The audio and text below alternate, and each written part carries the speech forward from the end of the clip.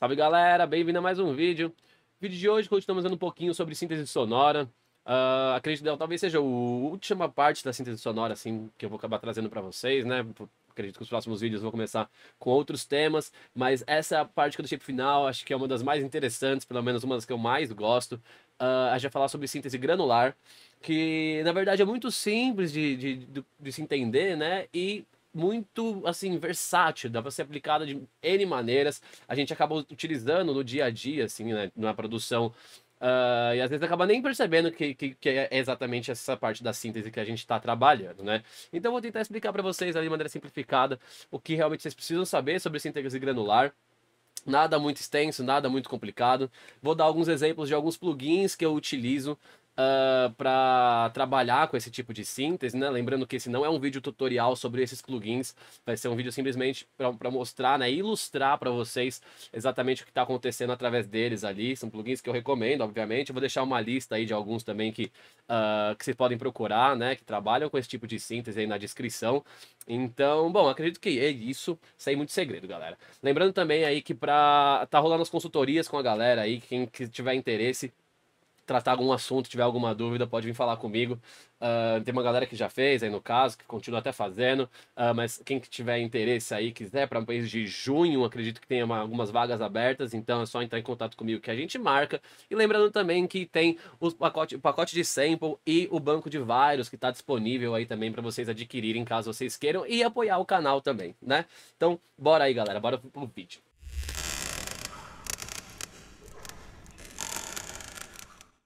Bom, vamos lá então, galera. Uh, uh, síntese granular, né? Granular síntese é bem tranquilo, é bem fácil de entender, na verdade. Ela, ela, como se fosse mais ou menos assim, acredito que muitos de vocês já devem ter talvez feito isso, como se fosse o arpar uma track dentro do Ableton, ela meio que está fazendo praticamente a mesma coisa, né? Porque o que acontece? Quando está arpando ali, ele pega e marca uh, esse áudio que você está trabalhando em vários transientes diferentes. Então ele meio que divide o, esse áudio em diferentes pedacinhos, né? Mini pedaços ali para poder ajustar no tempo que você quer, certo? A síntese granular funciona praticamente do mesmo princípio. Ela vai pegar esse pedaço de áudio e vai dividir em muitas partes, no caso, né? Partes muito pequenas, um, que variam aí, vai de, é de, geralmente, né? Pode ter uh, plugins que trabalham com uma faixa maior, mas geralmente vai de 100 milissegundos até 1 milissegundo. Então, pedaços muito, muito, muito pequenos de áudio. E ele pega, ele divide esse áudio e faz com que você consiga meio que arrastar esse grão, né? É, é, esses, esses mini, essas mini fatias que ele divide é, são conhecidas como grãos, né? Grains. E a partir dali você consegue uh, aumentar o tamanho do áudio ou diminuir, no caso, né? Então, o que acontece? É praticamente igual você, por exemplo, você está acelerando o pitch de uma música, né? Vou até ilustrar isso para vocês aqui. Você acaba mudando um pouco o tempo dela, né? O tempo, o tamanho que ela toca. O interessante da síntese granular é que a maioria das vezes ela consegue fazer isso sem mudar o tamanho do áudio, né? Então ela simplesmente trabalha nesse, dentro desses grãos que ela cria, certo? Cada plugin acaba criando. Então, é, basicamente é isso, galera. Não tem muito segredo. Eu vou mostrar para vocês aqui na prática, né, o que realmente ela trabalha. Mas no, no, fundo mesmo, o que vocês têm que entender é que ela vai pegar esse áudio e vai, vai criar grãos muito pequenininhos dentro dele, como se fossem aqueles transientes. E a partir desses grãos, ela vai, vai você vai dimensioná-los, né, e você vai conseguir definir a, a, o tempo que ele vai estender isso, né? Como assim? Vamos lá. Praticamente, por exemplo, igual a gente faria com a voz aqui, né? No caso, esse é um exemplo de uma, de uma síntese granular, né? Que funciona, mas no caso a gente está acabando mudando o pitch e, consequentemente, o tempo, né? Então, por exemplo, a gente pegasse e viesse aqui assim, ó, e esticasse como se fosse dar um arp nessa voz, né? Primeiro eu vou mostrar a voz original para vocês. Maximum Black Cloud.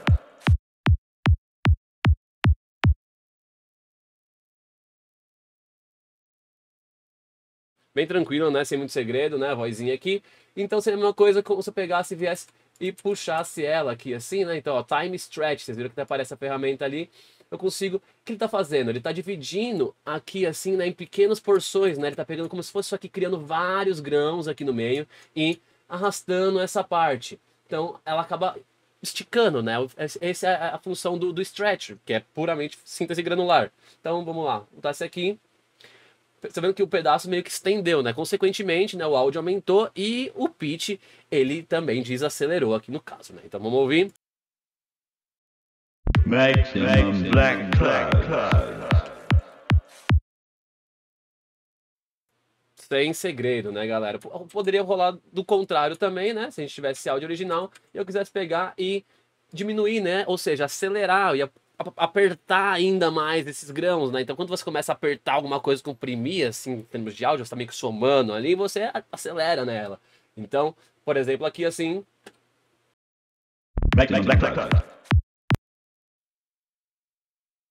Sem segredo, né, galera? Isso é muito útil, né? Então, por exemplo, quando você tem Uh, aqui no caso, até separei a bateria aqui, né? O ideal, uh, eu sei que esse loop tá em 148, então a gente consegue vir e ajustar ele no tempo sem muito esforço, né? Certo que, por exemplo, para esse tipo de coisa, assim, é ideal que você trabalhe com um áudio um pouco próximo do BPM original, né, do sample, porque senão ele acaba mudando muito a característica dele, principalmente o pitch, né? Então aqui muito fácil, né? Dá para ver claramente que ele tá fora, né? Aqui dá para ver que seria a, a caixa, né? Então vem aqui, simplesmente acabo corrigindo, opa, coloco no pitch e aí ele vai encaixar aqui direitinho, né? Então, muito simples. Isso é uma das funções do, da síntese granular, que funciona basicamente com time stretching, assim, que vocês já devem estar acostumados a ver, uh, na, a trabalhar junto, né, com essa questão de warp, tanto do Ableton ou qualquer outra DAW, certo? Agora, outra parte interessante que eu quero mostrar para vocês é em relação aos plugins que uh, fazem essa função, né? Então, por exemplo, eu tenho, uh, eu separei alguns aqui que eu vou mostrar para vocês, para quem acompanhou já os vídeos que eu soltei aí trabalhando, fazendo a série de workflow, com certeza lembra do, do Glitch. Glitch para mim é um dos meus favoritos e um muito fácil de trabalhar uh, com essa parte de stretch, com essa parte de síntese granular. Vamos lá. Aqui, como vocês podem ver, ele tem alguns parâmetros, né? Isso obviamente vai diferir de um plugin para o outro, mas como meio que base, né, praticamente todos os plugins que você encontra que trabalham com síntese granular, você vai encontrar o tamanho do grão, que foi exatamente o que eu falei, né, que é essa distância, que é desse tamanho que ele vai fazer essa divisão do, do, do pedaço de áudio que você tem, do sample, e a velocidade com que ele vai fazer isso, né, com quanto que ele vai esticar esse tamanho de grão que você fez, certo? Então vamos lá, aqui no Glitch, por exemplo, você tem o grain size pode definir o tamanho que você quiser, né? Então quanto menorzinho aqui, muito muito mais, sei lá, pequenininho assim, né? Ele vai ser, né? E aqui seria o tamanho normal dele. Mas nada vai uh, acontecer se você não deixa, mexer no speed, né? Porque o speed que ele vai estar tá falando que ele vai, vai, que ele vai começar a diminuir, né? Vai desacelerar, no caso aqui no glitch só é possível você desacelerar ele Uh, alguns outros dá para você acelerar, mas enfim, aqui ele tá no 100%, então vai ser a medida padrão dele. Então, por exemplo, você pode deixar o grain size do jeito que você quiser, que se, enquanto tiver 100% aqui, ele não vai alterar em nada, né? Vamos lá, mostrar para vocês?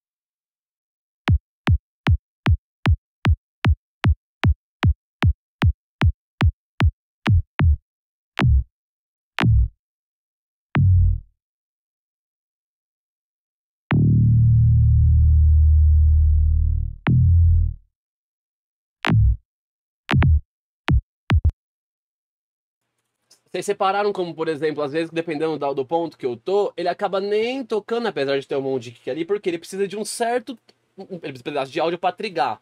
A partir daquele grão onde ele pegou, é que ele vai fazer essa diferença de, do, do stretcher, né? Do speed. Então, por mais que esteja tocando aqui, ele está levando em consideração o grão que ele pegou lá. Então, enquanto ele não trigar de novo, ele acaba não considerando, acaba nem tocando. Então, por isso que, por exemplo, nesse aqui que é mais picotado, né? Ele tá, tá 1 um por, um, um por 4 aqui no caso, né? É, ele vai, vai ter esse tempo, né, esse intervalo de onde tocar. Sendo que, por exemplo, eu até separei outros kicks aqui, né? Então esse aqui tá um 8, esse aqui um 16, ali pra frente acho que um 32, um 64, se não me engano, torto, que nem vocês viram ali, né? Vou só ajeitar bonitinho ali no, no, no grid. Esse aqui tá um 64, acho que aqui atrás tá um 32. Exatamente. Né? Exatamente, esse aqui tá um 16, né? 16, ali já fui direto pro 64. Enfim, o... eu vou mostrar agora a diferença para vocês nos outros. Então, ele vai ter, como vai ter mais pedaços de áudio para ser trigado, né? Então ele vai acabar fazendo isso em partes diferentes. Mas no geral, vocês viram que se tiver 100%, ele sempre vai tocar normal, né? Então vamos lá, mostrar para vocês. E isso é um dos jeitos que eu mais gosto de usar o kick, no caso. Funciona tanto pro kick, por exemplo, quanto pro baixo, se eu fizesse aqui, né? Eu acho bem legal, por exemplo, pode, principalmente para essas viradas da vida, né? Por exemplo, aqui ele tá no 16, mas se eu pegar e, por exemplo, deixar ele no 64, que ele vai ter mais tempo de trigger, né? Ele vai trigar mais rápido, eu consigo ter a chance de você ter um resultado mais interessante, né, ele acontecer mais vezes de maneira randômica também, né, de acordo com o que você está modulando, é maior. Então, quer ver, ó, vamos dar uma apertadinha neles aqui. Ô, meu amiguinho, o que aconteceu aqui? Você quebrou.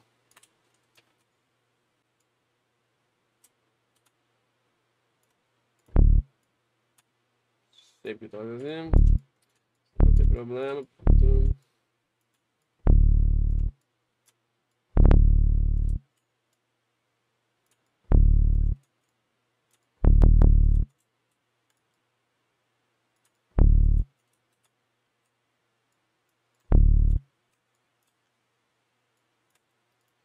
Certo? Então ele tocaria assim, né?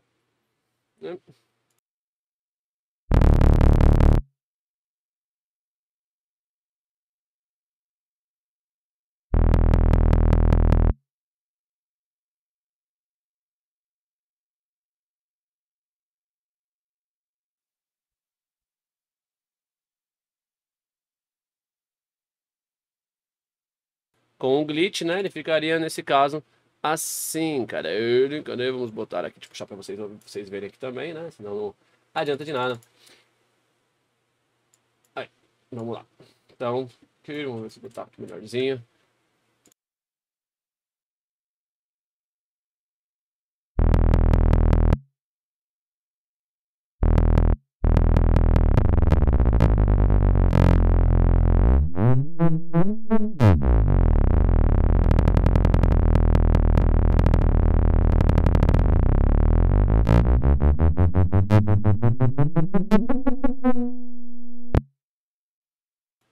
Certo? É bem bacana, dá pra fazer de inúmeros jeitos, né? Acho que ele tá dando esse retrigger por conta da configuração que tá no Serum, ali precisaria ajustar direitinho, né? Eu só puxei ali, ele no 64 já é pra ele ficar mais retinho assim, mas sem dar esse trigger, né? Mas eu acho que a ideia deu para vocês entenderem. Enfim, agora o mesmo exemplo com o restante dos kicks aqui, pra vocês sentirem como funciona essa questão da textura, né? Vamos voltar pro uh, glitch do kick, que é esse aqui. Uh, e vamos lá.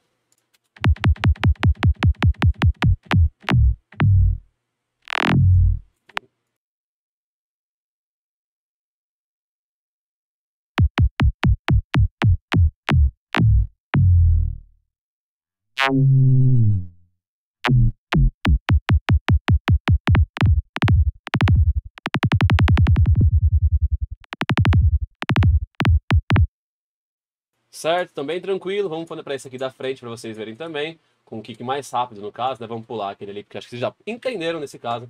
Sem muito segredo, mas só vocês verem questão de quanto mais você tiver, quanto mais material, mais informação tiver ali, no caso, né, maior vai ser a, a, a, chance, né, do trigger, né, e também, consequentemente, as opções que você vai acabar uh, obtendo, né, o resultado que você vai alcançar ali no, no seu stretch.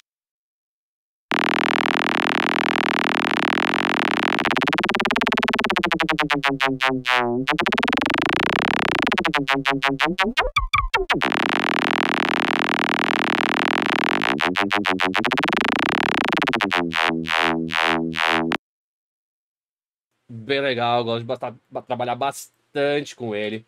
Então, basicamente, é isso, galera. Vocês conseguiram ver como, como que dá para utilizar, né? Aqui no caso, no, no, no Cubase também, né? Uh, um outro tipo de, por exemplo, stretcher que rola fazer, que é já meio que nativo dele, acredito que qualquer um deve para fazer dessa mesma maneira.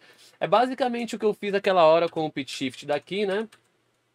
Uh, que eu tava só meio que. Isso aqui é mais um stretcher do que um pitch shift, né? Então ele tá mudando muito mais o tempo. Mas você pode fazer isso acompanhado do pitch aqui, que funciona praticamente da mesma maneira, só que aí o pitch acaba acompanhando bem também, né? Esse, esse resultado. Então vou mostrar para vocês, só questão de curiosidade.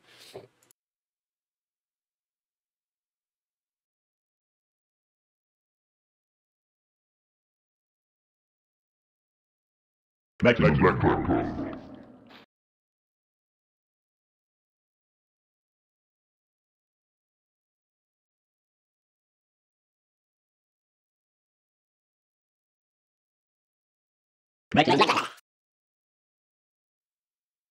Bem legal, muito interessante também para trabalhar, mas, esse tipo de virada, essas coisas para encaixar. Muito, muita gente faz isso aí, muita gente usa, é até comum de ouvir, porque é um negócio bem interessante que funciona muito bem.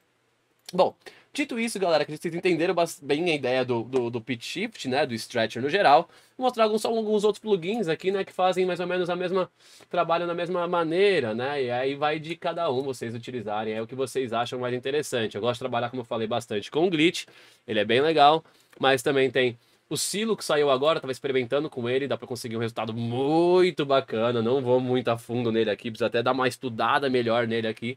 Mas a parte de stretcher dele, do granulator aqui é sensacional. Então vamos dar uma olhadinha.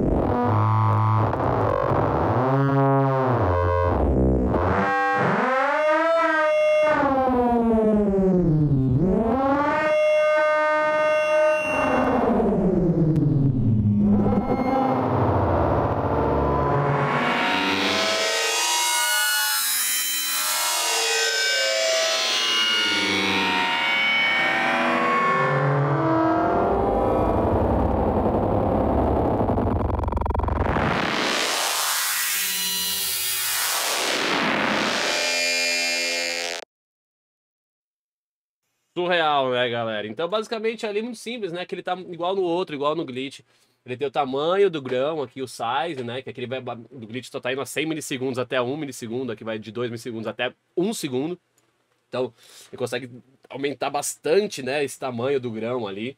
O rate, ele tá meio que fazendo, uh, como posso dizer aqui, quanto que ele vai mudar ali, né? Que frequência que ele vai acabar alterando de um grão pro outro, que vocês viram que ele vai meio que mexendo ali, né? Então ele vai, você pode tem como eu falei, como ele seta os grãos, né? Ele cria um monte de pequenos, pequenas fatias de áudio ali, ele meio que consegue randomizar, né? E de, a velocidade que ele vai alterar de um para o outro.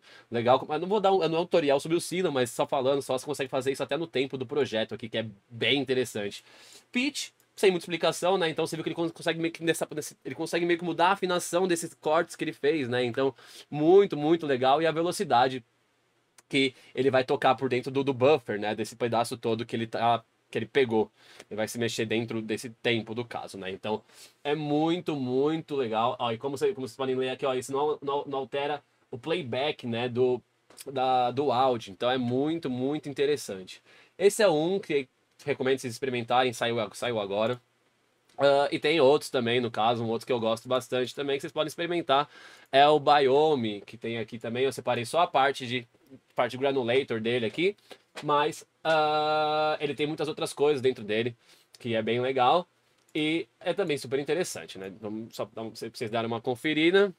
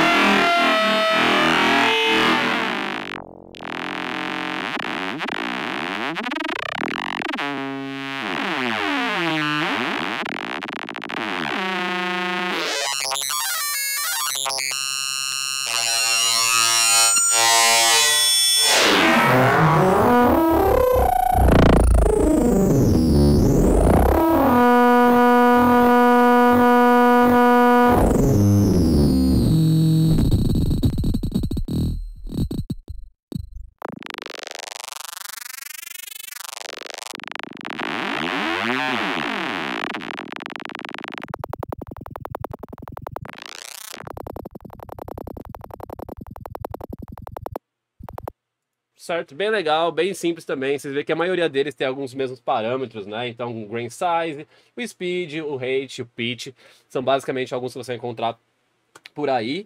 Uh, além de outras funções, né? Obviamente, cada, cada plugin, cada fabricante tem, uma, tem, o, tem o seu ali, seu, seu jeito de trabalhar, né?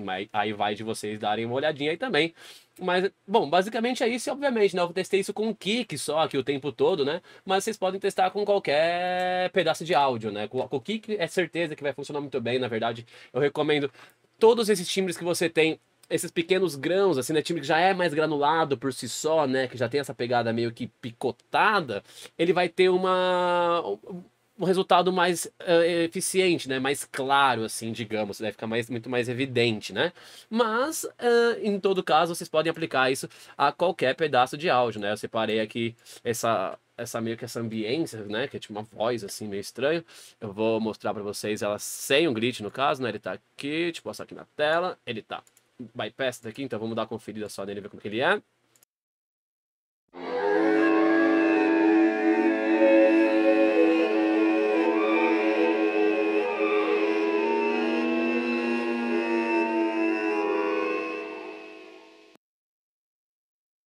Bem interessante, né? Agora vamos ligar ele aqui, vamos dar uma mexidinha, vamos ver como é que ele fica.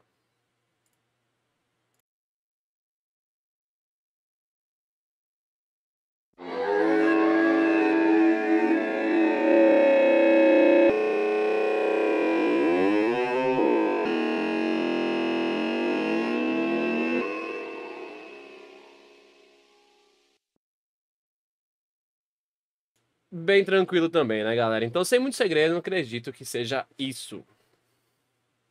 Bom, galera, espero que tenha dado para entender, tenha ficado claro aí para vocês. Qualquer dúvida, pode perguntar, deixa aí nos comentários que eu ajudo vocês. Mas, no geral, é muito simples, é só vocês lembrarem que é basicamente uma microdivisão do pedacinho de áudio, onde você tem a capacidade de mexer, acelerar e desacelerar esse pequeno grão que é feito na medida que você fez, certo?